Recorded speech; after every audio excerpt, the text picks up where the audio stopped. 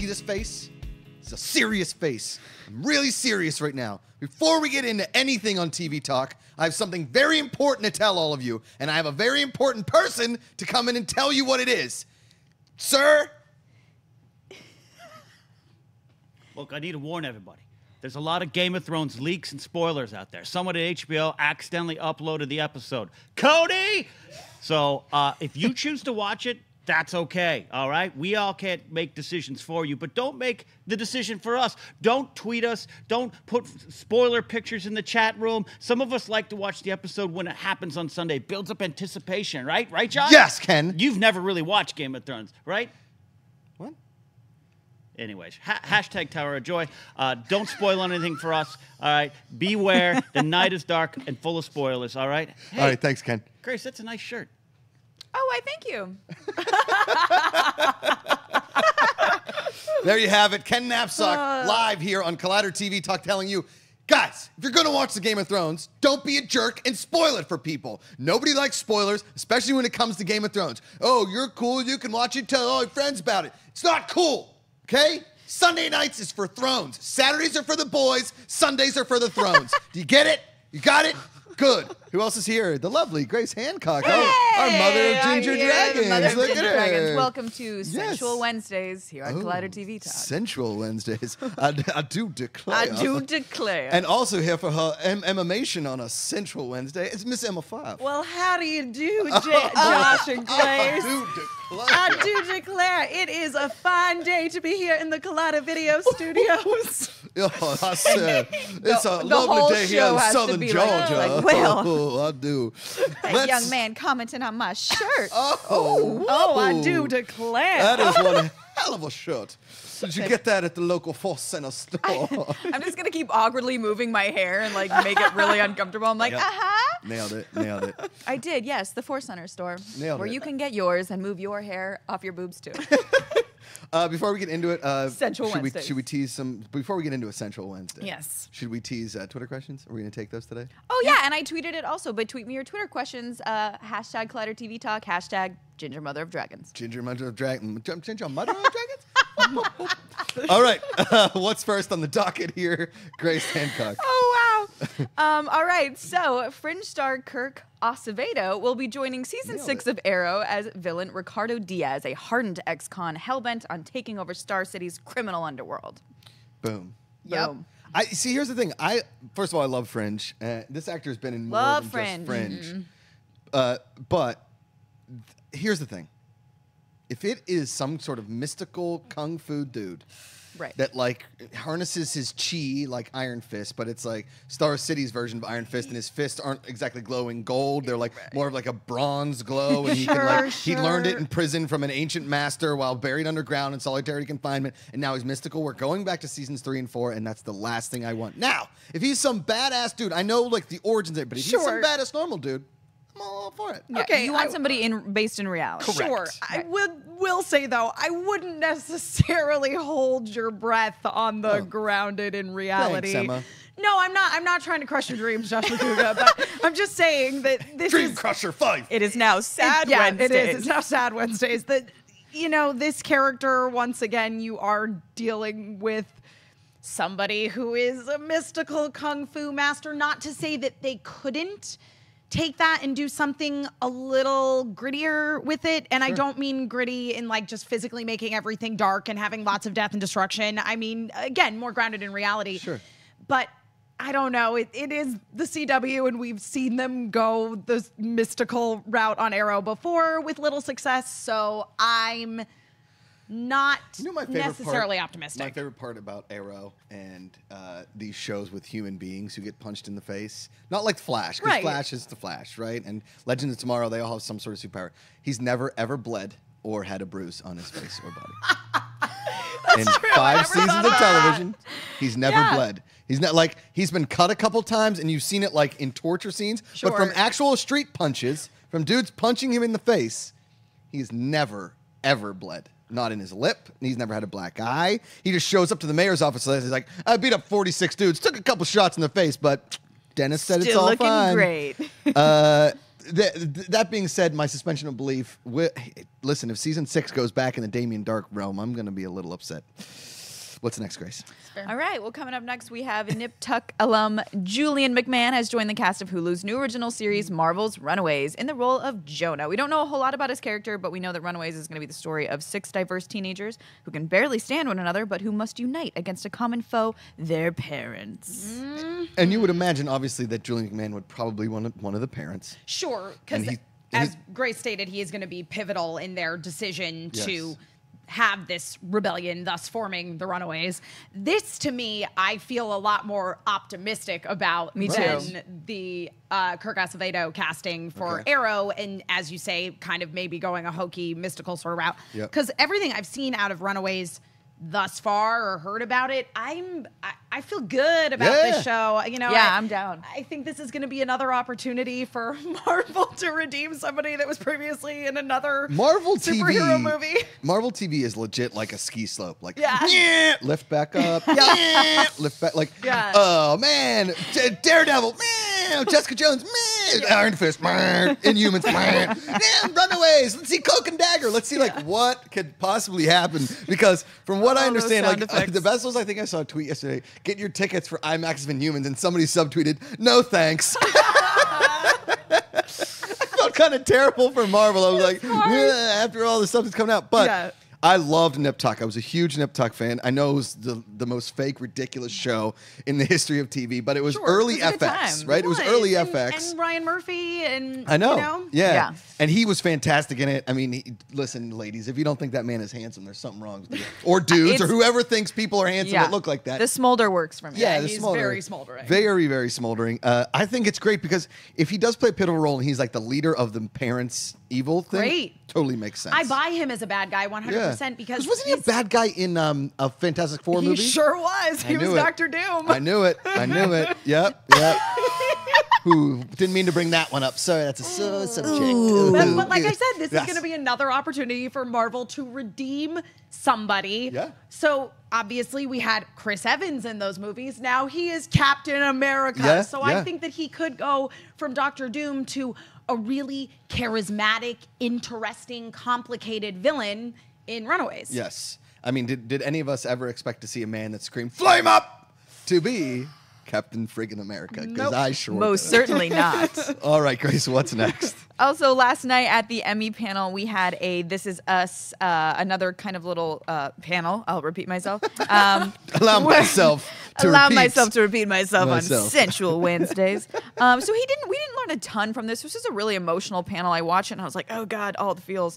Um, but we're gonna be. He dropped a couple little hints. We're gonna be learning about Beth and Randall adopting their child. Yeah. We're gonna be learning the backstory between how William and Jesse came together, and also your favorite thing. There's gonna be more singing. yes. That was Nothing's- the first thing that struck my attention, by the way. I know, and I was like, oh, Josh is gonna be so mad.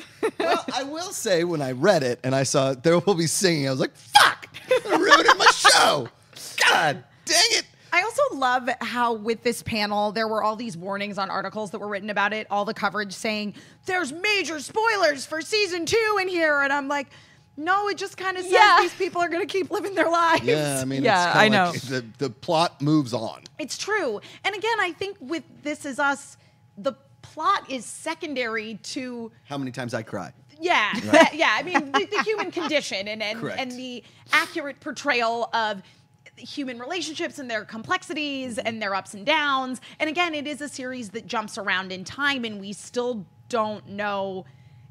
I- wonder if the mystery of Milo Ventimiglia, and I'm probably totally mispronouncing his name. Ventimiglia. Ventimiglia. There you go. Uh, his death, I, I sort of wonder if that's going to become like the Who Shot JR of One hundred percent. This But that was one season, and then Right. you know Bobby came out of the shower, and you're like, "Oh, it was a dream," Yeah. right? Which, if we get to like, and we were saying this before cameras rolled today, if we get to the the, the season finale, of, or the series finale, like season seven, and it's just like Milo Ventimiglia's walking down like drive by, like, wait a second, he got hit, killed in a drive by shooting. What? Like we, because you would imagine it's some sort of like slow death, or Sure. like he's saving somebody, or like a kid falls in the ocean and he swims out, but the current takes him, but he's able to get the kid back to shore. I don't know. What I'm saying is, if it's an if it's an anticlimactic death, that has to be keeping Dan Fogelman up at night. It's like this death has got to be up. They just randomly like leave a sponge and like a totally normal like appendectomy, and then he like gets an infection and like He so, left the sponge in. ah. We're 70s terrible hospitals. human beings. Anyway, um, yeah, I again, this this is us is probably definitely my most anticipated network show of like returning. Mm-hmm. Yeah, show, yeah, definitely up 100%. there. Uh, so you know, anything this is us, I'm cool with. All right, what's next, Yeah. Grace? Um, so next we're going to chat about episode four of Manhunt Unabomber on Discovery Channel.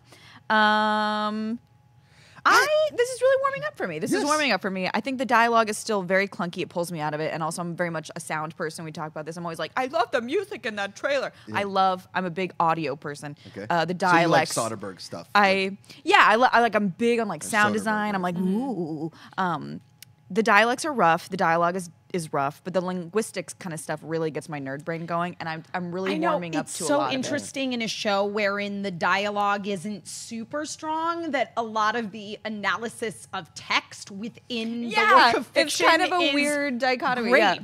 It's almost like reading a textbook, right? Yeah. Like it's not going to keep you. It's not like reading, you know, Stephenie Meyer. Uh, did I just make a Twilight reference? Yes, you did. I was gonna say, I was isn't trying to the think of an Twilight author. author? suggest that Stephenie Meyer is a good run. Let's I- maybe okay. go George R. R. Martin. George. Okay, it's not like reading George R. R. Martin, right? You're, but.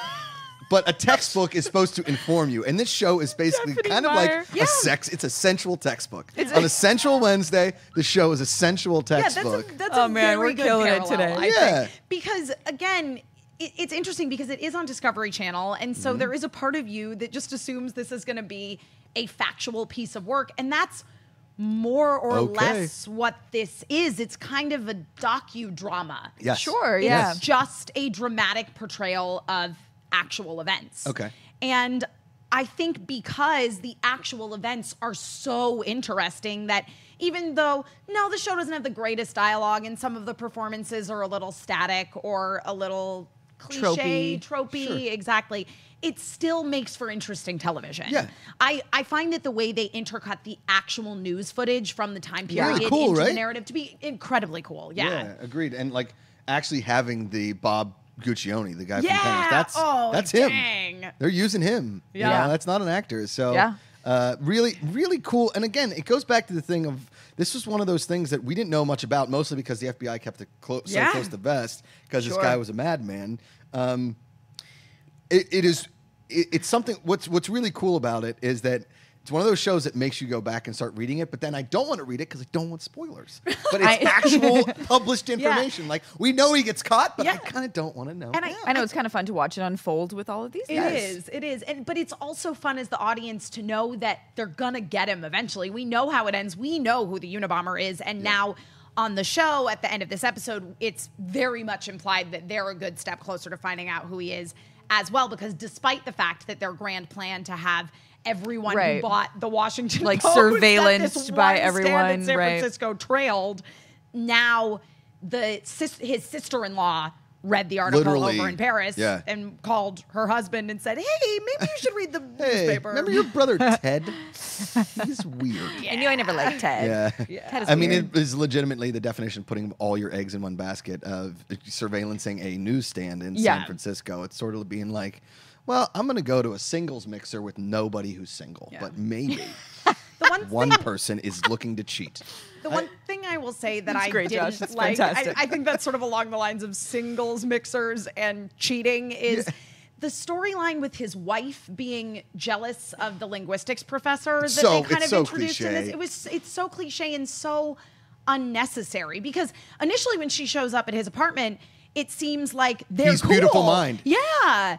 But then, yeah, he's beautiful minding it, but she just kind of goes in and starts replacing it with pictures that their kids have drawn and, Yeah. and making sense of it. And she's being very supportive and cool. And then she shows up to the office and meets this other woman and is like, Yeah. it's just like, this storyline Bitch, is you got long hair. Fuck you. so What? unnecessary. I get that a lot. Yeah, like, oh, she's hot. I'm jealous. Like, Yeah.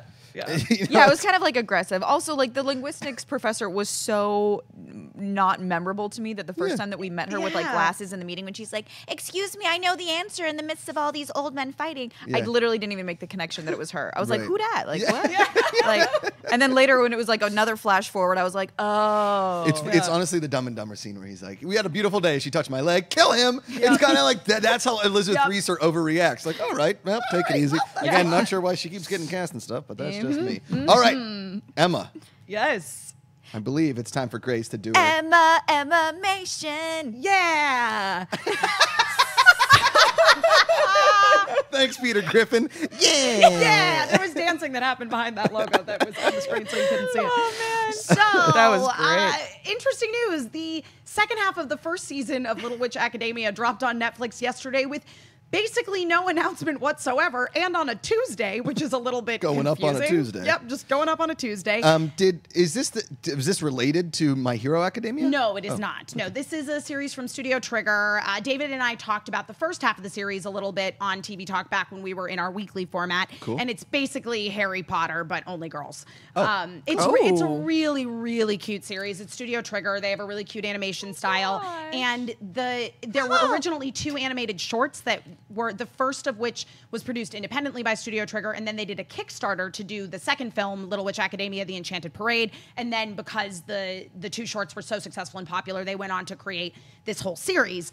Now. The series itself acts as if the shorts haven't happened, which I don't mind. I actually really like the way they retold the story in the series. Um, and even though Netflix released the back half of season one as season two, it was a 25 episode season when it aired on TV in Japan. okay. And it's just with the way Netflix distributes things and the model that Netflix is moving towards, which is that they basically want to have new content to release every single week. So they are, again, moving things into being in shorter seasons. It does bring up an interesting conversation about the history of anime because so far, Netflix has only distributed series. They have gotten sole distribution rights for a couple of series, Little Witch Academia being one of them, and another notable one being Seven Deadly Sins. But there's now some conversation going about whether anime might actually become Netflix productions. Like Netflix would actually produce some anime series specifically and exclusively for Netflix, which a lot of anime fans are grouchy about, but you guys, it's a really good thing. Animators in Japan get paid shit. Most of them have to have other jobs. If they were producing stuff for Netflix, Netflix has a lot more money and they do global simultaneous distribution. So it really could be a good thing. Right now, it's a little frustrating when Netflix gets the rights to something because something like Crunchyroll or even Hulu will simulcast things. So basically, the same day it airs in Japan, it'll air in the US. But Netflix won't distribute until it's also dubbed and they'll drop, you know, 13 Okay. episodes at a time. So it, it, it's an interesting conversation. Um, we will Yeah, see. that's And, and. Netflix licensed a whole bunch of new series, so we will we will see what the, the There should just future be like a Netflix anime. Like you should. That should just. yeah, and I mean, this is the thing is, guys. I listen. I have my Crunchyroll premium subscription. I I love getting my anime direct from Japan, but at the same time, Netflix. It's eh, there's a lot more people who subscribe to Netflix than Yeah. have Crunchyroll subscriptions, so it's it's not a bad thing. Okay. Uh, What's next? well, and speaking of Crunchyroll, uh, one of my favorite continuing series, Little uh, My Hero Academia, all Yeah, the that's academia. why I was confused. Yeah, I know. Yeah. It's very confusing. I just like things with the word academia in them, Uh-huh. I guess. But I- uh,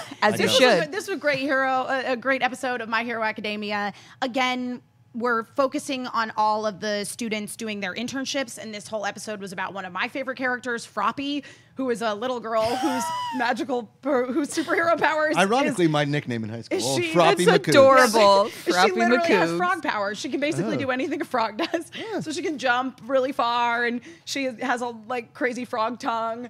But yeah, it was really cute. It was her doing her her internship under. Who's making out with Froppy under the old bleachers there? in My Heyo. Academia? I mean, they What's wouldn't even necessarily know because you know the tongue could just go down. and, Whoa, you know, heyo, Sensual Emma getting ab- Wednesdays. Sensual Wednesday. Wednesday. Spoiler Uh, alert! no, but Froppy is adorable, and it was a really cute episode about her and uh, her her sort of hero sensei who is a, a seal. His power is basically that he can do whatever a sea lion does. Ah, so, yes. Yeah, So, he can like nap on the Nap beach. on Sure, the yeah, beach. exactly. He- Yeah. he's I a wanna be that fit her, superhero. That's me too. I'm in. Uh, but yeah, and then finally, uh, interestingly, this does tie back to uh, Little Witch Academia because Little Witch Academia is produced by Studio Trigger, and one of the uh, storyboard artists on this new Cartoon Network series, OKKO, is an artist who uh, co-founded Studio Trigger. Okay. So it's kind of related, even though this is an American production. Uh, so OKKO is by Ian Jones-Quartey, who worked on one of my favorite Cartoon Network shows, uh, Steven Universe. And interestingly, it's sort Ah. Kinda of looks like about Steven Universe. Yeah, Yeah. and it's ki- it's another look at more mundane superhero kind of stuff. Okay. Um, just it's an American show, and there there's a little bit more of sort of kung fu movies and like an 80s vibe in it. It's really fun. Uh, Okay. But yeah, the main character KO again just really wants to be a superhero, and the way he does that Sounds is- like a common theme in anime. and- well, yeah. well, in animation in general, but again, Yeah. it's it's a it, yeah, it's it's really cute. It's really fun. I've watched the first, I want to say five episodes. They're only eleven minutes, Okay. like Steven Universe nice. and Adventure Time. Um, Oh, wow. But yeah, it's it's got a good message about helping people, and uh, KO's optimistic to the point of being extremely naive, but it's really endearing. There you go. Yeah. And I think we all need a little optimism in th- these times Yeah. of what's going on. A little optimism, some more hugs, some more I believing feel a you're little, a superhero. I feel a little warm and fuzzy right on the inside. a Just little- hearing you talk about Yeah, it. yeah, like he basically works at a bodega for superhero stuff. See? Yeah. That's perfect for a Sensual Wednesday. That's some Emma EmmaMation. Emma Thank you, Emma Fyffe. All right, let's move on. Grace, uh, do you have some tweet us questions? I do. And I have one chosen because we have spoken about this off camera. Yeah. And I don't know what kind of person I'm becoming. And I'm going to read the Oh. question and you'll find out why. Okay. At Mrs. Graceface, what are your thoughts on Jon and Dany's relationship after these episodes? Do you see them getting together? See, everybody keeps vouching for incest in Game of Thrones. Like, oh, well, the Targaryens banged each other for years. Okay. That doesn't make they it should keep okay. doing it, yeah, yeah. like uh, it's Okay, it- but this is what I'm saying. Like, I absolutely am a compl- I'm a sicko because I absolutely want it to happen. I'm like, get that D, Dany, and I want to see it. I'm sorry. I Grace. want them to hook up. Grace, this show is all about changing the past. Yeah. It, she doesn't burn down you Westeros. don't want to see them hook up. I mean, uh, from the point of view that they are both very attractive people, sure. Sure. But they're. If you get she- turned on by a, a nudity scene between Jon Snow and Dany Targaryen, you're fucking It's, weird. it's her nephew. Okay. It's her nephew. This is very Oedipal. This is a totally Oedipal thing. The Jaime Cersei thing at this point is just torture porn. Dany oh and Jon Snow are supposed to be better. Because Yeah. when Jaime kills Cersei, because that's my my theory, Right. uh, there's a lot of people out there that, that think that's gonna be the thing. You're gonna be like, good, she deserved it, even though they were banging, because it's not love, it's incestual weirdness. Jon and Dany are actually, regardless, not it's no. I apologize for nothing. Emma Fyffe. Yeah, no, I don't. I don't want to see them get together. But I have to admit that on the last episode, I was a little conflicted because the two actors had very good on-screen See, chemistry. there's a little bit there, though. I agree with you. There's so But that's much wrong. gray That's the point of it. They're supposed to have I'm on-screen sorry chemistry. for the way I am, but there's gray area, and I'm I don't know what to say. So Yeah. yeah. Okay, yeah. let's let's do one more. Twitter We have one more Yeah, that's let's- a little let's less cleanse incestuous. the palate on this one. And I just think this is funny. Um, uh, from Joe Frick at Mrs. Graceface. aliens have invaded, and you can show them one show to convince them not to kill us all. What do we show them? Oh, Well, don't show them anything like uh, like Westworld where they're killing robots because they're like, well, we are like robots. right. And they are going to kill us? No, we're going to kill you. I don't know why. I love that they're aliens- German. Like, Hello, uh, with, uh, with the German robots. Yeah. Um, I would I would show them a show like Friends. They all get along. They have a good time. Yeah. It's not it's the most diverse show in the world, so maybe like a parenthood, like something where they they all get along and it's really nice and like the world is is butterflies and roses and and everything in between. Uh, don't show them. You know, uh, uh, like Jersey Shore. NCIS. Oh, the kid was raped by, you know, like Jesus, the alien should kill us after an episode of NCIS. so definitely don't show them this episode of TV Talk Yeah, where I admit to wanting Incest. Right. Yeah. Hello, yeah, I feel like you definitely want to show them something that shows that people are good Yeah. and the world is worth saving. And I think it's just because I'm real stuck on those Cartoon Network shows. I've I been know, I was watching like, we right can now. show But them like one a- of those. Like an. OKKO or a Steven Universe, I think are both really great examples. I of, think, like, if you sh- like if you showed them Big Bang Theory, they'd be like, "Well, they're learning too much. They could come up to space and kill us." No, no Big Bang Theory. You show them something that's a little dumber. yeah. Well, Eh, dumber is subject to interpretation. sure, sure, a little less physics. in- Yeah. I'm just saying they might Yeah, think that and- those and more- actors know physics. and more about humans caring about one another. Yes. and- yeah. Yeah. Emma Fyffe All nailed it. All right. Uh, that's Twitter questions. I'm going to do a little pick of the day. Pick of the day. Pick of the day. you can pick the Rachel cut in Friends or Lucille Ball's fantastic curls. What do you pick? This is not difficult for me at all. I would 100% pick Lucille Ball's curls. Okay. Because I have dead straight hair. I Ah. have dead straight, fine baby hair. And I always kind of wanted curly hair, so that's She not, wants- she wants the curls. Not difficult. Not Grace difficult for me. Yeah, no, I was actually I'm gonna I was gonna go with uh, Lucille Ball too because she's a gingy and I love her. But my hair is actually pretty curly, but it's not that curly. I mean, if it's that short, it would be. But And listen, She's it's perfection. it's like I think both of those th- uh, those two women at Oh, the yeah. time of television, absolute perfection. I know people are you're comparing Lucille Ball to Rachel. Let it go. They're both comedic. They're both funny. But yeah. Lucille's the best. like Yeah, wow, Lucille like, Ball yeah, like, wow, wow, yeah, no, totally, wow, yeah. That's my that's my Rachel. It's not that great. Alrighty then, we're gonna get out of here. That's TV Talk on a sensual Wednesday. Before we get out of here, uh, Emma Fyffe, where can the good people find you on the internet? You can find me on Twitter and Instagram at my name, Emma Fyffe, E M M A F Y F F E. Join me later this afternoon over on Hyper RPG for Adventures in Fiefdom. That is my solo streaming show. We are going to continue our adventures in the world of the Fifing. game Dream Daddy from Game Grumps. Uh, it's real fun. I'm right now. I'm testing the waters, deciding which daddy I want to date in earnest. Yowza, that's- Mrs. Graceface. That's Grace something that I will most certainly be checking out. And uh, sorry for making it weird. I'm Grace. You can find me everywhere at Mrs. Grace Face. or in a cave with her uncle. Who knows? I'm Josh. I'm Josh Macuga at Josh Macuga on Twitter and Instagram. The Josh Macuga Show on YouTube every Monday night. WGN Movies for America. We're here live every single day, 11 a.m. PST only on Collider Video. We thank you guys for watching. As always, put down the book, pick up the remote.